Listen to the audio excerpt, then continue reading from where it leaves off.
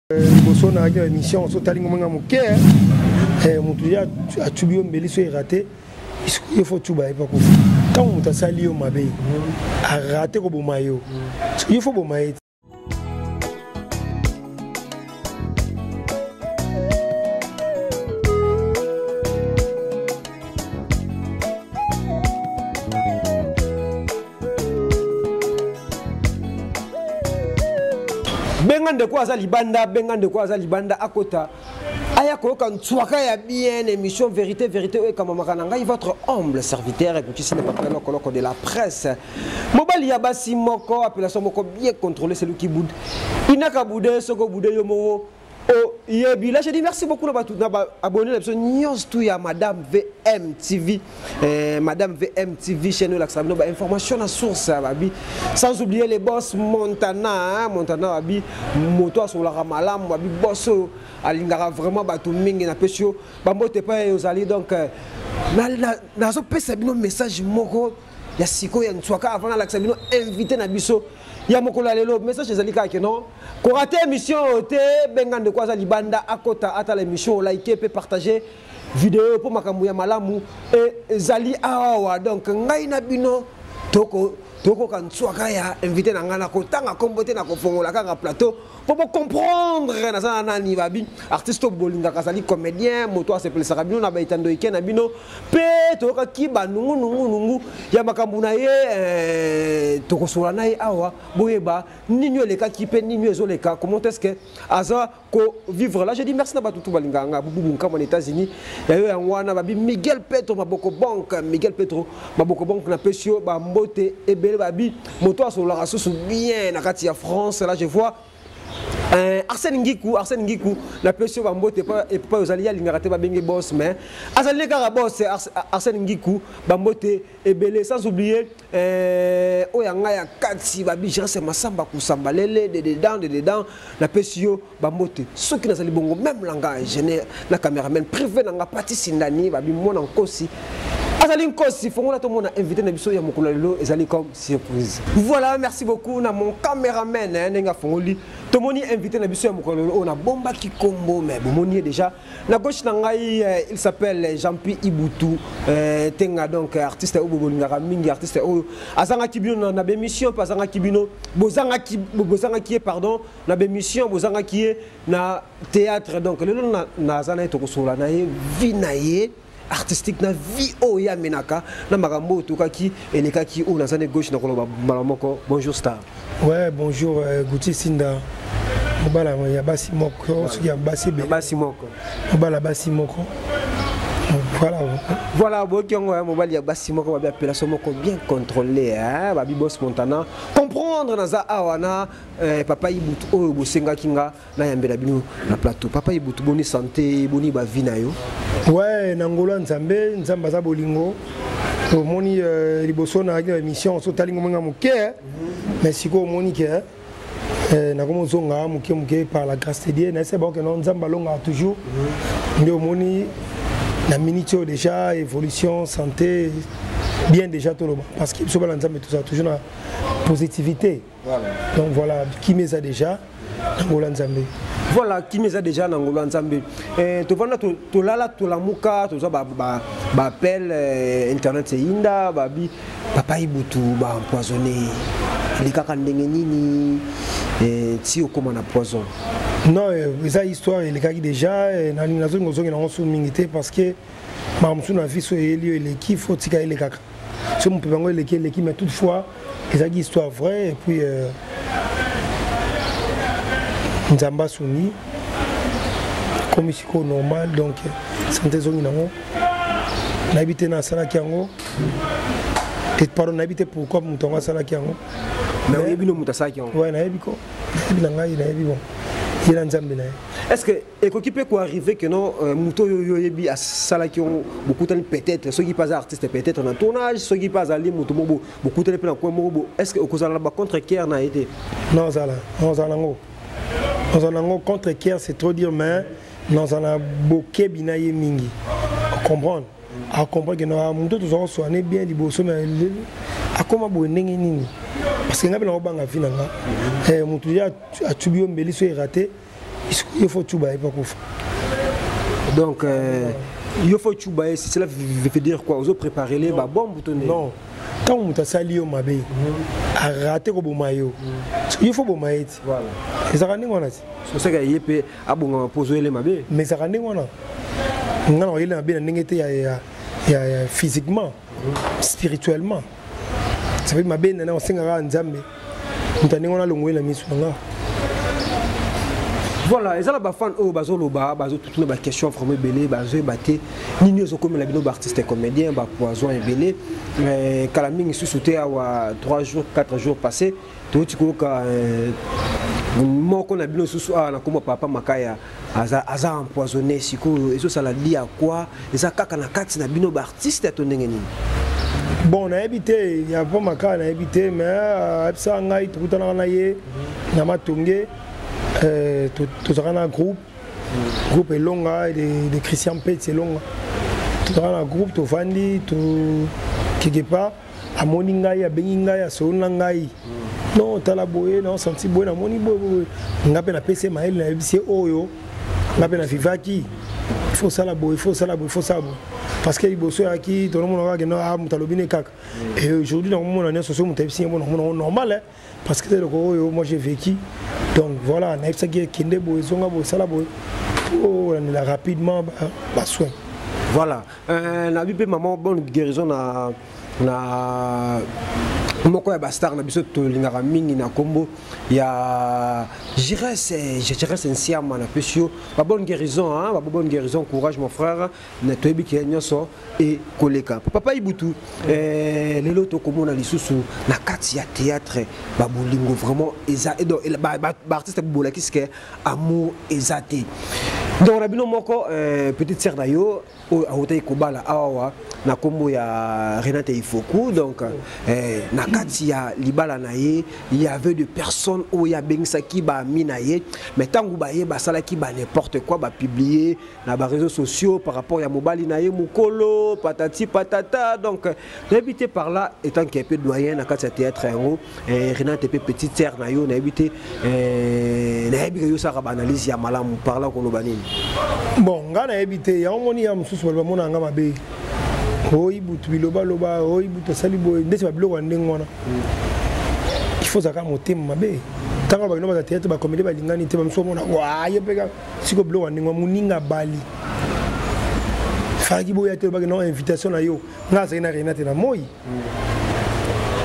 nayaki na ye ti baomakiye ye ti balolaka bateni ye ya tovandi na salle boye na kati ya salle mpo bakokota kutu te mai ngai butu nakotaki nayaki na covodor nayaki na princesse nayaki na mimi kabongo nayaki na mille esprit cardozo cardozo ozo comprendre nayaki na cameraman na kovodor toki mwa ebele wana mais na kati kuna parce que babando ya temenga nazalaki fike namonaki no ah, na vie santé ya idea to dérange nga boye naki nasu bafeti naboyaki na ngai mais na journée mobimba tofandi kutu ba ambiance kutu ba direct esalami bamisu batalaki yango me na mpokwa na ye te parce que ndenge moninga mona quand même ke ngai yo naza de cœur na ye siko bino bana basi moninga na bino abali boke koloba mabe mpo na ye bosala bavideo mpo na ye bosala bainformation moko ya mabe ya lokuta mpo na camarade na bino bango na bango baartiste comédien bango na bango baartiste comédien est ce que eza na bolingo soki ngai alobi aibutaka heureusement na change naloba so mingi te est-ce que eza bolingo ndeko na yo abali pourquoi kopublie eloko ya ndenge wana ya mabe oyo yo oyei na feti wana kaka mposo baimage wana ntango feti ekosila obaluki na nsima oke otie mega na yo opublie mabe ya moninga ya ndeko na yo ya des personnes bakoloba babike no comment est ce que libala ekoki kosalama sa mobali azala bakei na commune eh, mwasi akei na commune na leki ya mobali na ye alatisaki alliance alobaki nini na miso ya ba, ya ba, na, na, na miso ya leta na miso ya famille soki leta ou bien na bamibeko ya bamabala ezalaka bongo te mpe engosi libala engosama te soki leta apermetaki yango famille ya mobali bapermetaki yango parce que eza normal mwasi mpe amonike wi mobali ntango mosusu mobali aza motu aza na mboka mosika msosa aza mwa contre temps mosala epermettre ye te mosala eboyaya soki oye na kinshasa ata mosusu bakolongolo mosala abateli place wana mais fete déjà ekomaki déjà programme aza na choix te il faut abatela na place wana parce que la vie continue et après libala vie continue mais elo eza mabe te soki leki ya mobali azalaki wana bakesi bakomi eza mabe eza wapi awa na kisasa na afrika awa libala wana esalamaka mobali aza te leki na kopresente mais na leta mais na leta leta ndimi yango pourquoi leta ndimi yango pourkoi leta ndimi yango parce que eza normal soki normal te leta yango andimi yango te leta moto mibeko voilà leta yango parce que eza normal ezalaka mpe bongo mobali soki aza te moto akopresente azali ekosalama yango leta mpe andimi esalami eleki mpe kitoko bato bale bameli babini basepeli kitoko c'est tout bolingaki bomona mobali mpo osala na ye nini bomoda arena te ndeko na bino ya mwasi esili wana ti ndenge omona mobali ya renate mpo osala na ye nini eza bacommentaire moko omona mobali ya renate zela mokolo oya na ndako ya renate okolia fufu okomela bien ntina ntongo mobali ya renate okomona ye eza bacommentaire mo bato bakotia na kati ya, ya chaîne ya renate ya, na, na video ya libala wana moko alobi ke no eh, mobali wana alingaka te komonana après ap, hein? loba nano après, li, eh, après libala bato bakendaka Euh, comment je peux dire na butu wana bato basepelaka mwasi mobali basalaka feti donc basanganaka nzoto sikoyo renate akendaki wapi sikoyo ngai nayebi songo mobali ya renate ngai nayebi ye omoni bilobaloba bolingi bomona mobali ya renate mpo bosala nini nga mobala renate nayebi ye esi akabela nga mpe nga nzambe alola azomona mobali ya renate oyo oh, abali renate oyo oh, abali renate ngai butu nayebi ye renate mpe ayebi ke ngai nayebi mobali na ye yoka moto oyebi ye me ngai nayebi mobali ya renate nabe na bato mpe nakotanga bakomo nango awa te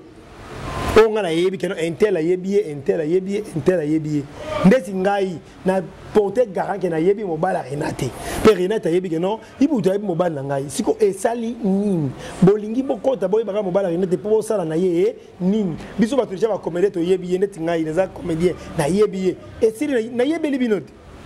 bolike bino boyebi mpo alinga nayebeli deja bino oyo oh, mobali ya renate ngai nayebi aza gentil aza bien asolaka bien aza gentil est ce que c'est vrai que mobali ya renate euh, bof na biso est ce que aboyanaki na mama ya bana ne wana nalobi e mabe na bino bino bino bachroniqueur boza bilobela basongisongi boza bapanzi sango tozolakisa eza baquestion bato batuna bozolinga boyeba yango mpo na nini soki aboya na mobali na ye etali renate soki aboya na mobali na ye te etali renate ezali mama famille na bango oyo oh, biso toyebi na miniti oyo renate asali nini abali bato balie bameli basepeli c'est tout ozomona te ndenge eh, tobengaka mbanda pourquoi mpo azoleka azoloba mama kapi azoleka azoloba alobi ba n'importe quoi tomoni bana mwasi ya ya ya mobali ya renate donc mama kape aleki alobi ba n'importe quoi babimisi mpe bana moko boye babi soit disant bazali bana ya ya mobali ya ya, ya renate est ce que c'est vrai ah yesu mawa alobaka eloko balakala yesu mawa asali bato na mokili me bato balingani te ah, bon nayebi te nakolobela mama kape bato mabe mpe te nanga mpe na programme na ye te ngai ya ngani mwana bato makapi adeklare parce que adivorsa te ye alobi adivorsa te yo moto olobi mpo ngai atalaaye moto alobi omoni bavideo oui ok d'accord baaudio ezali ok lokola mare adeklare bongo nayebi te eza ye ye dépendre na ye ngai nayebi na ngai te soki ndenge nini ebandaki wapi ekosuka wapi soki babandaki nde ngai nayebi te mais de moins ke ngai nayebi renate ifoku ndeko na ngai mwasi asala nini abali bato balie bameli basepeli fete eleki bien avant tochite na makambo ya renate ezali su na question moko ezali ndeko moko boye parla ngai seke na confirme makambo olobaki no bolingani te bato ya théâtre eza ndeko mobo ya mwasi ya commente na video ya libala ya renate alobi bato bato ya moni na mariage baosala service la ya engage ye moko bato ya moni na mariage ya renate baosala service donc service yango alobaki te ke service ya oyo ya oyo ya oyo ya oyo namoni bana basi oyo basololaka te na renate bana basi oyo bafinga renate bana basi oyo batonga renate mamoni bango baosala service na feti ya renate est ce que siko papa ibutu ndeko mwasi wana ndenge alobi aza na raison to aza na faute aza na aza na aza na raison aza na raison parce que renate akoki jamais kotika bato ya ndenge wana basaleli mosala basaleli mosala e surtout jour ya feti na ye ya libala mariage moto oyo otongaki ngai moto oyo ofingaki ngai moto olobaki na ngai ba n'importe quoi ape jour ngai naoba natika yo kesa service wana eza erreur ye nati asalaki akosala yango so na vie na ye te eza mama na erreur si c'est vrai moto yango mpena akonfirmeke bato oyo bafingaki rena te oyo balobai mabe mpona rena te baza wana na jour afeti nde baosala service eke atiki bango na regete il faut azala mayele parce que euh, vie eza compliqué hein. na bapoison oyo soki sikoyo babi keno eh, papa ibutu lelo akomi président ya bacomédien nyonso tu soki babi otia ordre ekobanda na nini ya kotia ordre na kati ya cinéma congolais euh, soki nakoma lelo président ba comédien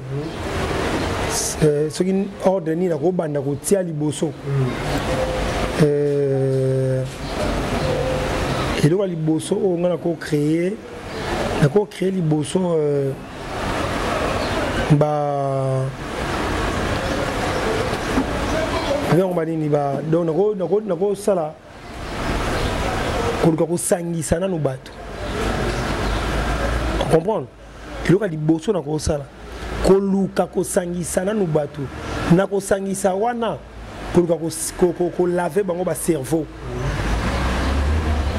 kolave bango bacerveau par rapport ya nini ekozala bolingo ya solo ya kolingana na amour moko vrai vrai amour moko ya artistique na bolingo mpenza ya solo soki bolingo wana ekoti kati na biso na bareunion oyo ngai na banosalisa kotanga na bagroupe ya mike kobengisa bagroupe ya mike bareunion parce que oyo tokosala lelo boye bato bapetio bazwa nsima mpe bakosala nini bolanda je wana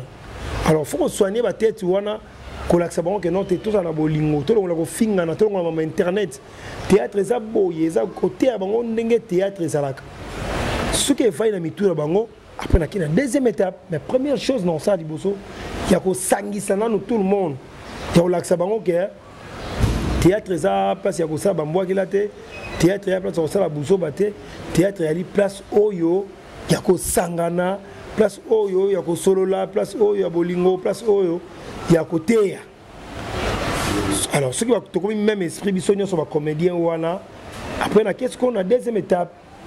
donc voilà première chose yango nakosala voilà première chose yango wana papa papa ibutu natikali kaka toujours na, na, na casquette kena biso soki lelo okomi président na kiprésident na yo ya baartiste comédien tout soki lelo oza bongo bapesi yo poste wana balobi keno Eh, lokola yo ozala moto ya vpp polele popolele olongola bato soit osuspendre bato bakosala mosala na limemia te baotosa mosala te okosuspendre ndeti banani bon bato basuspendre baza ebele mais na osuspendre nanu nani parce que nanu akomi président te babi soki soki nakomi président kasi na ozala komona président bongo comme ça na osuspendre vivre dans le lora na monde yango oza déjà président ya baartiste ya comédien na miniti oyo na président na miniti oyo na président lokola mito na président kasi nalongoli nani oyo te nani oyo te koya bina nga soki sala lokola nga mpe nasala lokola alongoli mpe nani oyo ah, papa ibutu c'est comme si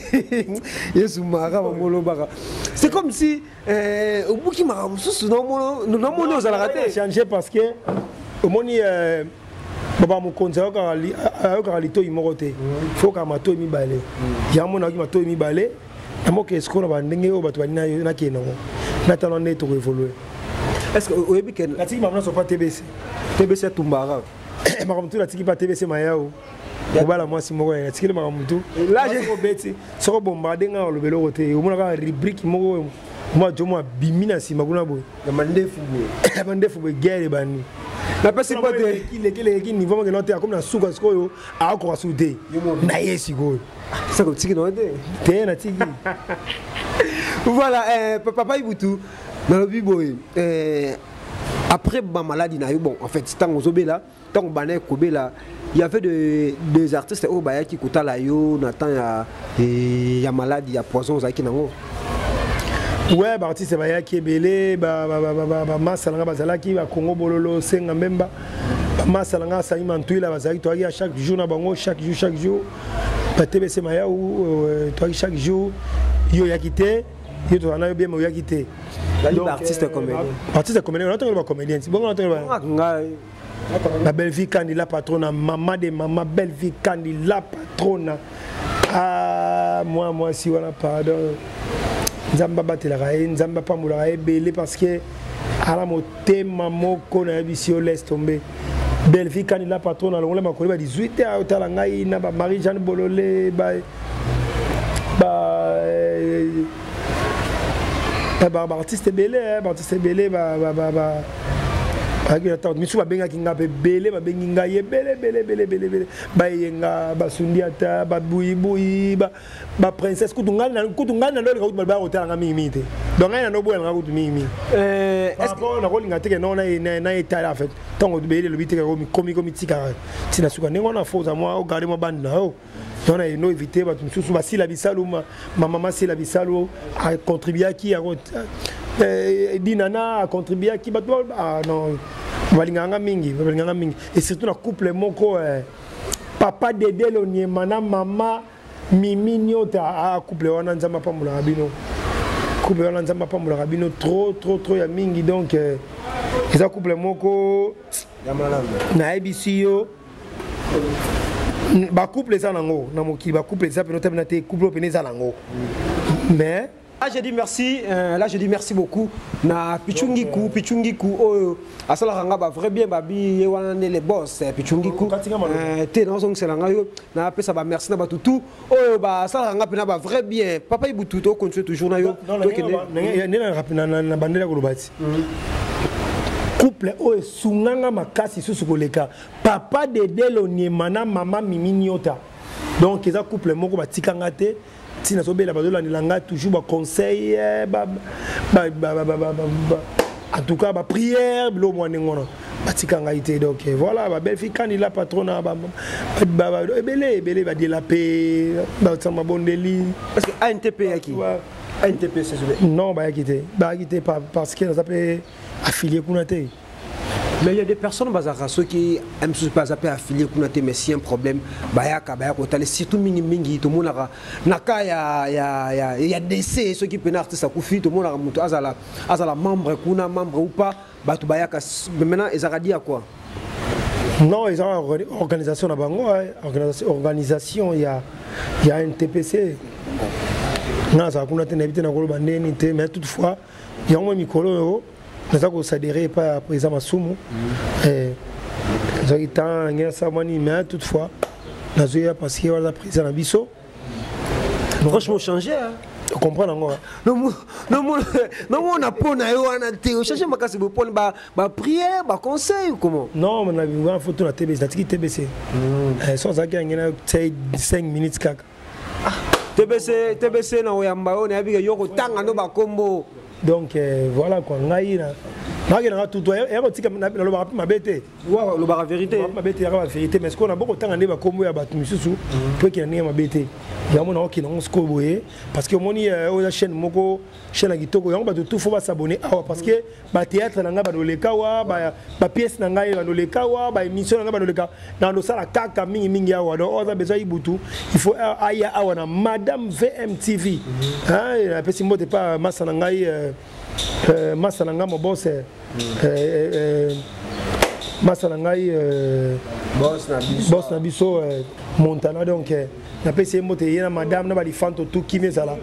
madame vmtv tout le monde awa nde ibutu songo ozwa ye facilement il faut awa na madame vmtv abonnez vous facilement et massivement massivement et facilement mm. abonnez vous donc euh, na chaîne oyo madame, oh, euh, madame vmtv toza awa voilà pour citer euh, papa papa ibutu eh, boni groupe eh, groupe ezo koévolue ndenge nini groupe ezo évolue bien napesi mbote na président na nga président christian pete elonga adirect de belgique napesi ye mbote groupe ezo évolue tellement kitoko ezo évolue tellement kitoko tellement bien eh, bachef bazali tozokamba groupe kitoko Et puis toujours les gars à la télévision, donc euh, et surtout sur euh, euh,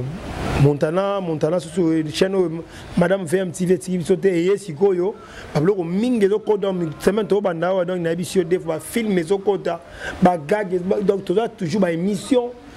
En tout cas, tout ça penza mingi mingi yao. Voilà. Merci beaucoup là, tokomi na suka ya émission na biso euh, vérité vérité oyo ekamamaka na ngai votre omble. Euh, na otiki opela tana opesa mabote na yo. Là, je dis merci beaucoup na Baetou Alinganga, votre humble serviteur qui ici n'a pas appelé au de la presse. Mobali ya basi moko appellation moko bien contrôlée, celui qui boude. I naka boude nabi mobali ya basi moko. Papa il boude nabi mobali ya basi moko. Ça on a, il faut t'en avoir mobali wa mazo na bien ça le beau. Papa il boude, c'est émission na ngati. telabi opesa mpe mwasi no bambote madame euh, madame ya gucisi na napesi yo bambote epai ozali mwasi na ngai femme noire euh, femme africaine biso pe tokoki kobomba po tokoki kobanga bino bato mabe bato ya sima sima eh, bokolukaka naza na ano na ngai merci beaucoup eza émission na ngai merci beaucoup na madame ah, abi mwasi na ngai nalingaka mingi eh, mwasi ya mwindo eh, oyo nalinga ya trop ba merci ebele na bana na ngai tu uh, eh, babi pati sindani uh, eh, dorfa sindani babi bana ya papa gucci sinda bambote ebele sans oublier babi arsène ngiku arsène ngiku na pesho bambote ebele epai ozali soki ngai na bino nzambe alingi tokokutana bongo na nimero oyo ekoya papa ibutu tokomi na suka émission uh, eh, mo mpo na émission oyo mo mpo na chaine na biso mpe eh, quelques personnes na badédicace na yo okoloba nini non nga mpo na ngai nakoloba mpo na chaîne na biso oyo madame vmtv tout le monde asabonne tout le monde akota parce que makambo abie ebandi sikoyo eh, omoni ye moko montana lokola aza déjà apte wana guerrier soda donc eh, combattant ya, ya misala donc ya combataka mpona mosala donc nayebi ke tout le monde asabonne en tout cas boya na ngai na chaîne oyo à chaque fois nandoleka awa et puis euh, merci mingi na initiative oyo bazwi nasi ya zongo ye moko te madame pazaka pembeni en tout cas merci beaucoup na couple wana boforce to force tokende toujours liboso madame vmtv nasi na 2022 oyo tie sila mama danger ezali ya kosakana te donc euh, voilà napesi mbote na blanchard kilombo bos deler bos patron napesi ye mbote epai ya eh, papa dede loniema motema ya mama miniota napesi mbote epai ya eh, mama ni mama nabengaka ye mama ni mama mama olive lembe kabila mama moko asololaka bien napesi ye mbote mama na ngai pa ozali na papa napesi mbote epai ya mama elino umenga napesi yo mbote apesi mbote na bellevie kandi la patrona et puis euh, mpo na kosukisa naye kopesa basiko mbote na bato bakosala ke non vmtv ezala madame vmtv ezala napesi bango mbote dikando papa na adriana eh, mwana barça dikando papa na diana na kati ya barcelone wana yo moto vandisa masolo dikando papa na diana très fort plus que fort eh, dikando papa na adriana acadre adriana, adriana toujours na kati ya barcelone wana donc itaka barcelone toloba mingi te barcelone place messi abeta dikando sikoyo papa na adriana avandisa masolo na kati ya barcelone wana nana koloba tomara trop dimosi gabonais eh, mwana angleterre dimosi gabonais yebi kaka mwana angleterre dimosi gabonais mwana angleterre angleterre ça veut dire london eh, londres sikoyo place oyo train eh, pont efungwamaka pont ekangamaka sikoyo ozomomela na didier nzeza na toronto dide nzela na kati na toronto suka mokili toronto kuna états-unis nayebi si yo kuna komona tout le monde ya mokili azali oyo nga prêtre nga danger oyo ngai soki nani oyo ngai oye états-unis eh? eh, dide nzela ezala na kati na toronto eh, lasconi ya, ya keti eh, bana, bana seville eh? bana na Séville la Sconi ya Keti bana Séville taka Séville oloba nini pesa ba star ba jogo ya danger bana kaka Séville la Sconi na pesi yo mbote et sans oublier euh, na ba fanatique nyoso balinga yi papa Ibutu l'homme de n'importe quoi et bo ta poto n'importe quoi ya bino yango wana pesi mbote ya bino mingi allez Bye bye à tout le monde à suivre. Voilà. Merci beaucoup là, j'ai dit merci beaucoup na Borel euh, Borel ma boîte BM. Merci aussi na Marie Moreau, motema ya BM, Talvi Kinkani, les prod, Igor Luzizila, papa na Liem, Igor Luzizila. Na pesio bambote ebele Landry photo le, le meilleur na kati ya Paris, Landry photo le meilleur na kati ya Paris. Nous rekito yanga ya kati na pesio bambote. ebele na orlanda bosani mama bijou binga kashama voilà mama bijou binga kashama voilà. eh, toyebi kaka bientôt tokokita kuna groupe ekende ti eh, mama bijou binga turo torate te turo groupe ene ezoya Eh, merci beaucoup mama bijou binga pesa papa mbote nalingaka bino mingi voilà merci aussi na pichungi kuna kati hmm, ye mitio na ngai te voilà merci aussi na pichungi kuna kati ya maroc merci na landri mabwati bosani nanu mata na numata na numata na kati ya bundes voilà bo comprendre c'est côté ya Michou Kenzo azalaka Michou Kenzo na simbaka motema poso na simbi te mabe ezalaka voilà na numata moi c'est kitoko simbaka na simbaka motema olobi non na soki wana merci beaucoup euh, là je dis merci na arsène ngiku na peso bambo te pai ozali babi ye nde mokolo masolo babi ye nde kachenge donc omeka te kopusana te okosambwa merci na bato tu balingaka nga merci na na, na oyo ya ngai ya kati girase masamba kusambalele depuis france rosi galiano na kati ya afrique du sud ya ngai ya kati personnel de dedans rosi kasungu soki nzambe alingi ngai na bino tokutani bongo na nimero ya sika na invité mosusu tukila